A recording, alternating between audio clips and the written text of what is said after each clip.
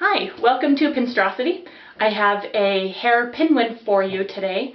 I tried taking a bunch of pictures and that really didn't work, so figured the next best thing was a video of awkward me. So I guess today you get a pinwin and me as a Pinstrosity.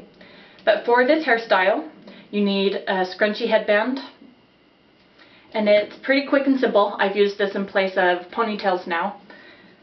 So you start, just stick it around the crown of your head and you're going to have hair that kind of puffs out, but that gets fixed as you go. So to start, just start with a small section of the hair on top. And you're going to tuck it underneath the scrunchie band. And you just keep doing that in little sections, wrapping it down and through.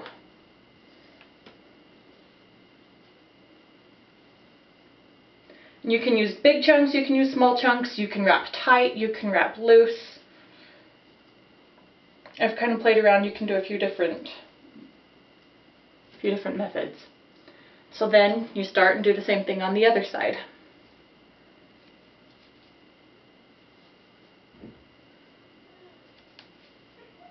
You just keep wrapping.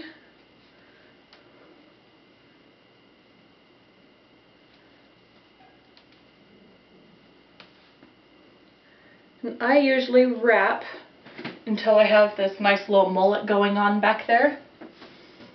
And then from there, just kind of tuck the tail ends in and then tuck the whole thing under the elastic band.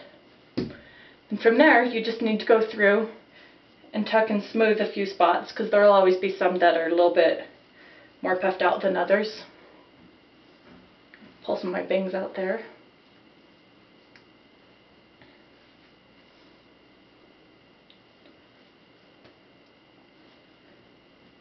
And there you have it. So it's a pretty quick and dirty version.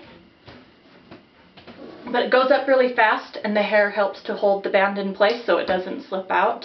When I first uh, tried learning this, it took me a few days to figure it out. I had my hair really thick and it didn't want to hold in. The band slipped off my head. But after I had my hair relayered and thinned, this has worked great. So if you have really thick hair, this may not be the best hairstyle for you, but if you have medium to thin hair or if you get your hair thinned for some reason, that made a huge difference. So there you have it. There is my Pinstrosity, or my Pinwin for Pinstrosity. And later I'll take a picture when it's out. I like to wrap it when it's damp because then it dries all curled around the band.